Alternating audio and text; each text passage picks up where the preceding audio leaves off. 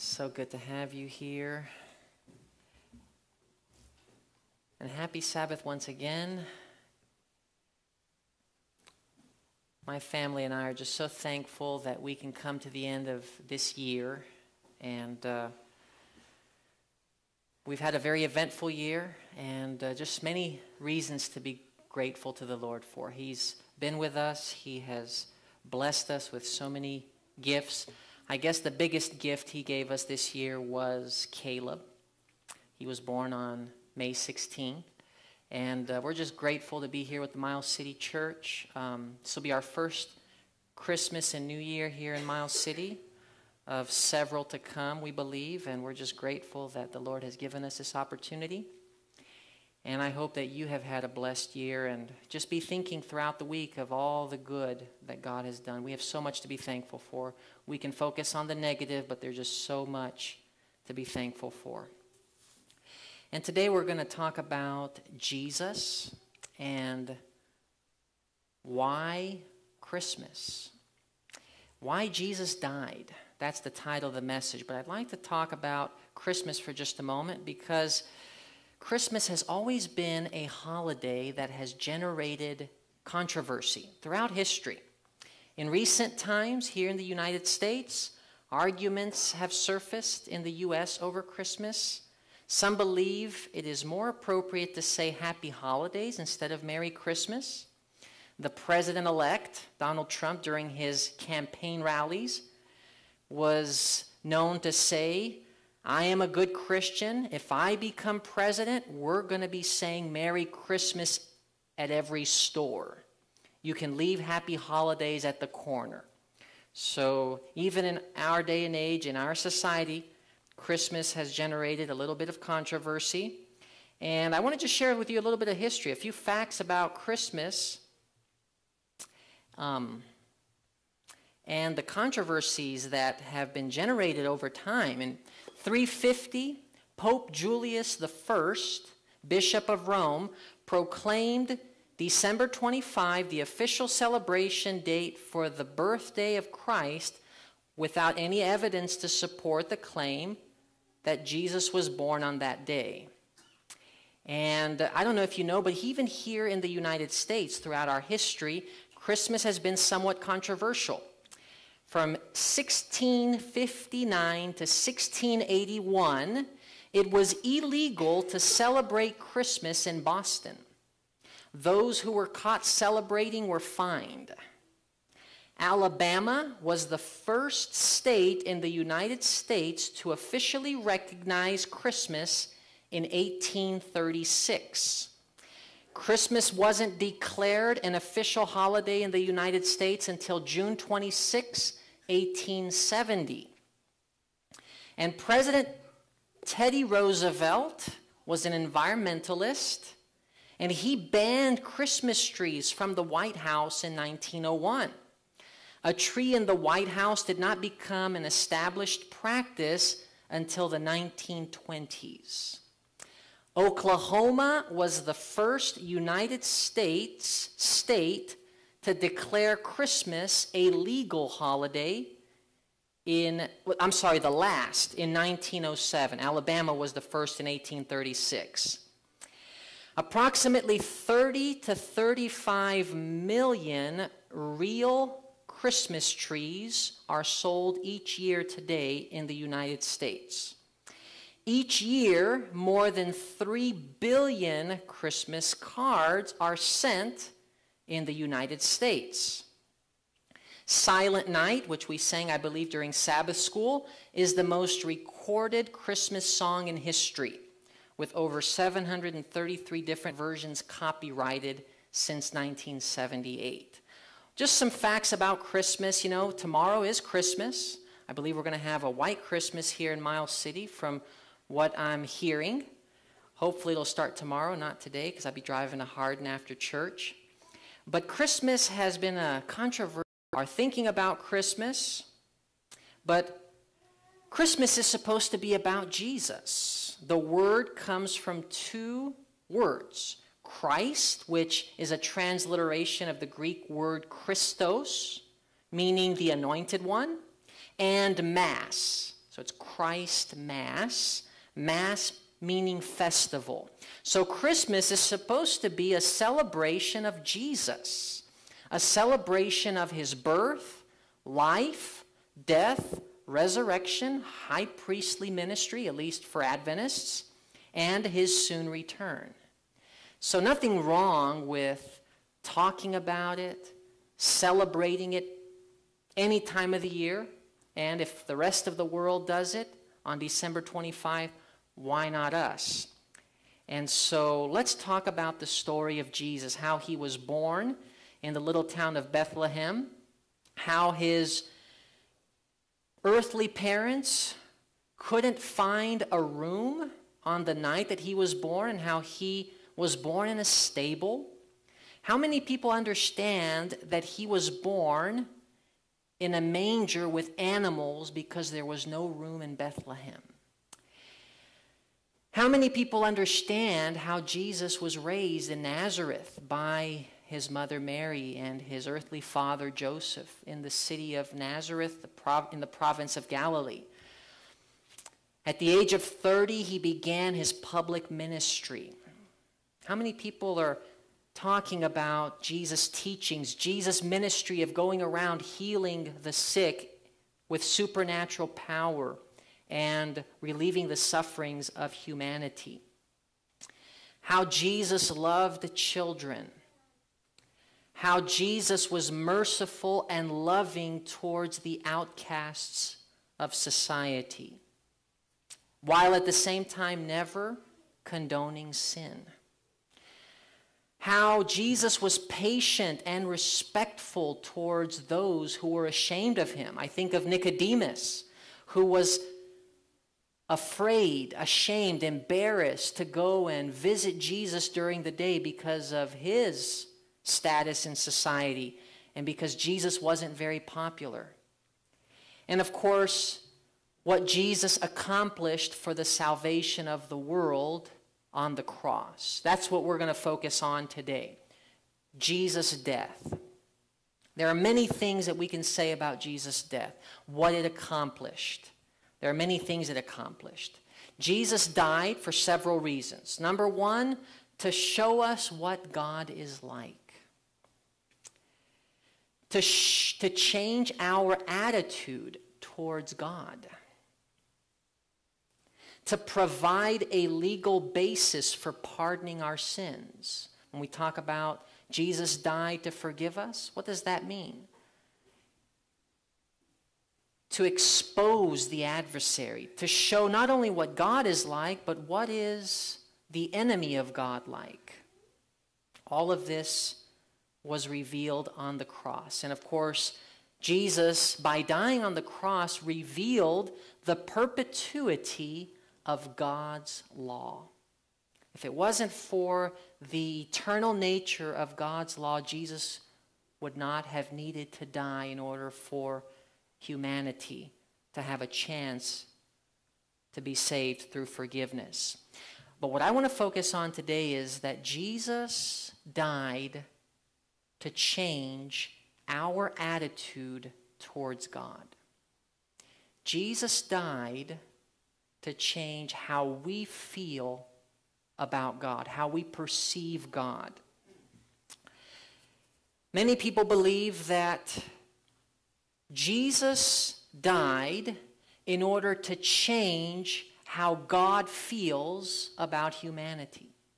You have a picture of God in the Old Testament that has led many people to believe that God is a tyrant, an exacting, a strict, and unforgiving God, and that Jesus needed to die in order to change how he feels about us. But what I would like to suggest to you today in our study is that Jesus came, he lived, and he died in order to change how we feel about God. So let's study. Why did he have to die? Was it to change how God feels about us? Or was it to change how we feel about God? And I believe that one of the most known verses in the Bible should answer that question for us. John chapter 3, verse 16. The Bible says, For God so loved the world that he gave his only begotten Son, that whoever believes in him should not perish, but have everlasting life. In other words, because God loved the world so much, he gave. That's what the verse is saying. His son, Jesus, did not have to die in order to make the world lovable to God. God loved the world, and because he loved the world, he gave. That's what this verse is saying. What did the sacrifice of Jesus accomplish? Look at 1 John chapter 4 verse 19. We love him because he first loved us. And how did he show this love? By giving his son. So we love him because he first sent his son. Our love for God is in response to something. What is it? His love. And how was his love revealed? For God so loved the world that he gave. So, we love him because Jesus died. Does that make sense? In other words, we don't love him, and because we love him, God loves us. It's the other way around. God loves us, and because he loves us, and takes the initiative, that changes our attitude towards Him. So, why did all of this have to happen? Why couldn't God just create people that would love Him automatically? Or those that rebelled against Him, why doesn't He just force them to love Him? Let me illustrate. Let's imagine two brothers getting into a fight. We'll call the little one Mike and the older one John. And Mike punches John in the eye. Mom intervenes and asks questions, and she determines that Mike is to blame. Tell your brother you're sorry, mom tells Mike. Mike not only doesn't feel sorry, but if he could punch Mike, John in the other eye, he would do it. Regardless of how Mike feels, Mom is stronger than both Mike and John, and she asserts her authority and demands that Mike apologizes. What does Mike do? He says, I'm sorry, with an angry face and he's got that look in his eye. What kind of I'm sorry is that? Well, I'm not sure John is convinced, but mom is not satisfied. Tell your brother that you love him. So Mike, still upset, tells John, I love you. That's not enough. Mom tells Mike, kiss your brother. Now that's going too far. But again, she asserts her authority, threatens him, and tells him what the consequences will be if he doesn't obey. So Mike turns and says, I can't. Mom says, Do it. Mike, evaluating the consequences, kisses his older brother John. Imagine the quality of that kiss. Does that change anything in John's heart towards Mike? You understand why God needed to do something that would not only arbitrarily change how people feel about him, but would create a response of voluntary love and obedience to Him? Love cannot be forced. The Bible says we love Him because He first loved us. Romans chapter 5, verse 9. God demonstrates his own love toward us in that while we were still sinners, Christ died for us. How does God demonstrate his love? By giving. Does he give towards those that deserve something? Does he wait for some recognition that the other party is wrong before he takes the initiative to go out and try to bring about reconciliation? I want to read a beautiful quote from Steps to Christ, page 13. This great sacrifice, talking about Jesus, was not made in order to create in the Father's heart a love for man, not to make him willing to save. No, no. The Father loves us not because of the great propitiation, but He provided the propitiation because He loves us. Christ's sacrifice is designed to awaken in us a love for God. How do people feel naturally in this context of sin about God? How do we feel about God? Maybe we are afraid of Him. Maybe we have guilt. Maybe we don't like Him because we think He's arbitrary or too imposing on our freedom.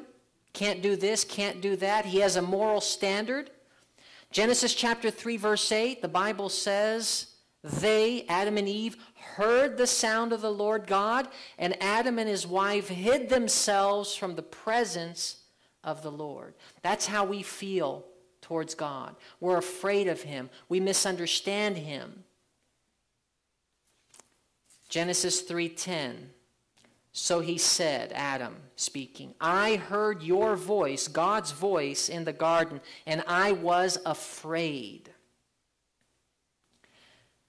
So what role does Jesus' death play in our salvation? 1 Timothy chapter 2 verse 5.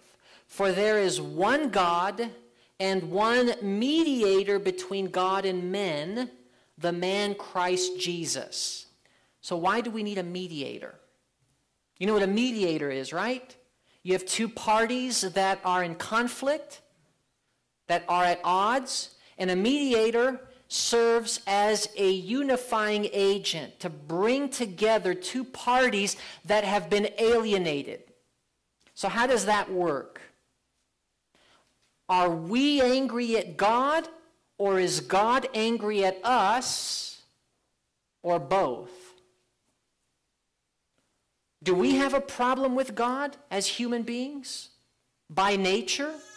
We're like Adam and Eve. We're afraid, we're guilty, and by nature, we want to avoid having someone over us that will be Lord of our lives. That's just how we are. And is God angry? Yeah, God is angry, but what is God angry at? The Bible talks a lot about the wrath of God. What is the wrath of God? Well, the Bible says, let's turn in our Bibles. Let's just once today at least look at a verse together, Romans chapter 1. It's a great verse to explain the wrath of God. There's much in the Bible about the wrath of God. And yes, God is angry. God's anger is not a human emotion. It's not an anger like we're angry. The word anger or wrath is really the best word that biblical writers could come up with to express how God feels towards something. You know, after the flood, or before the flood, you know, Moses says that God repented that he had created man. Well, does God repent? He's an omniscient, all knowing, all powerful God. Does God repent? Well, that's just a way of expressing how sorry God felt that things went the way they did. Well, anger, God's wrath, God's anger. Romans chapter 1 verse 18. What is God angry at? The Bible says, "For the wrath of God is revealed from heaven against all ungodliness and unrighteousness of men who hold the truth in unrighteousness." Notice the clear distinction between the unrighteousness or sin of men or people and the people themselves. God is angry at sin. God is angry at sin because sin is destructive. Sin is damaging. Sin causes pain and suffering. God is angry, but he's not angry at people. People are angry at God. Jesus, as mediator, is not trying to cool off the wrath of God so that he can bring himself to love unlovable people. No. The Bible says in John 3:16 that God so loved that he gave. God loved and he gave. He didn't give his son so that he could love. He loved and he gave. So Jesus is mediator between God and man, not to change how God feels about people, but to change how people feel about God. Do you remember on Mount Sinai how the people felt about approaching God? Do you remember that? They were afraid. They needed a mediator. They told Moses, Moses, you go before God on our behalf. See, we need a mediator between us and God, not because God can't tolerate our presence, but because we cannot tolerate the presence of God. If God were to take us to heaven the way we are and force us to live eternally with Him, without a sincere and genuine change of heart and attitude, we would be miserable throughout eternity. 2 Corinthians chapter 5 verse 19. God was in Christ reconciling, that's the mediator role, the world to himself. You see the nuance here in this verse? God was in Christ reconciling the world to himself. And some can interpret that to mean that without Christ, God could never love the world. But that contradicts John 3:16. You see God so loved the world that through Christ he's trying to help people feel differently towards him. He's trying to break down the barriers and to destroy the sin that separates, that creates a gap between God and man. Why is reconciliation necessary? Colossians chapter 1 verse 21 and you who were alienated and enemies in your mind by wicked works, yet now he has reconciled. So notice that it, the problem is not in God's mind. It's not how God feels. The problem is how we feel in our minds. Do you see the verse here? where it's saying that you were alienated. The problem is with us. The death of Jesus changes us, not God. That's why Jesus said in John chapter 12, verse 32, And I, if I be lifted up from the earth, will do what? Draw all people to myself. See, Jesus' death is designed to draw people to God. The idea that God would make a sacrifice, even though He is the innocent party, we're the guilty party, but He's the one that takes the initiative, He pays the price, He does what's necessary for reconciliation, that is different than what we're used to seeing in this world, isn't it? Let me give you an example. If I mess up and I make a mistake and I am offensive towards my wife, and she's the hurt party, and I'm the guilty party, what's the expectation? The one that is guilty take the initiative and say you're sorry, right?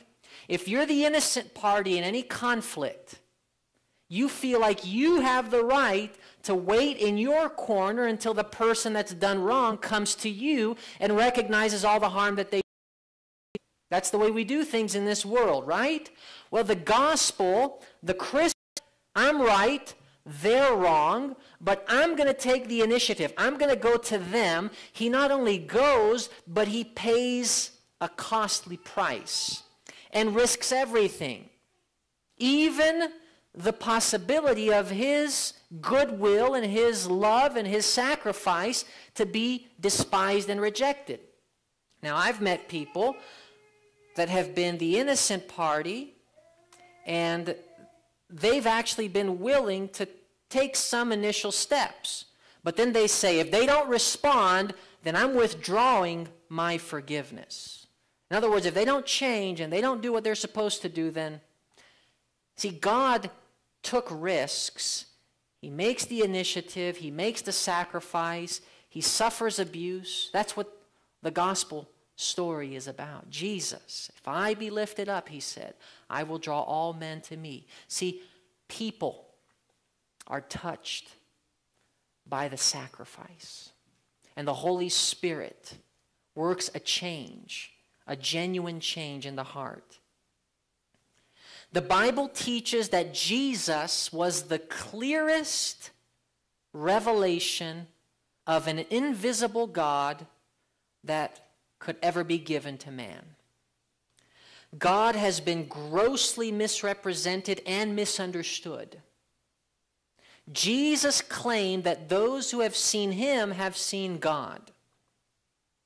Millions have been blessed, transformed, because they have become familiar with a loving, just, merciful, logical God through the person of Jesus.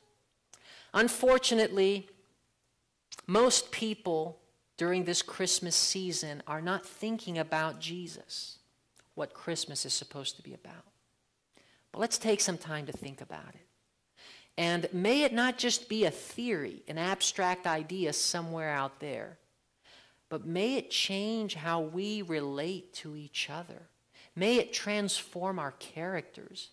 May it make us more like God, loving, merciful, gracious, forgiving. At this time, we're going to hear another music.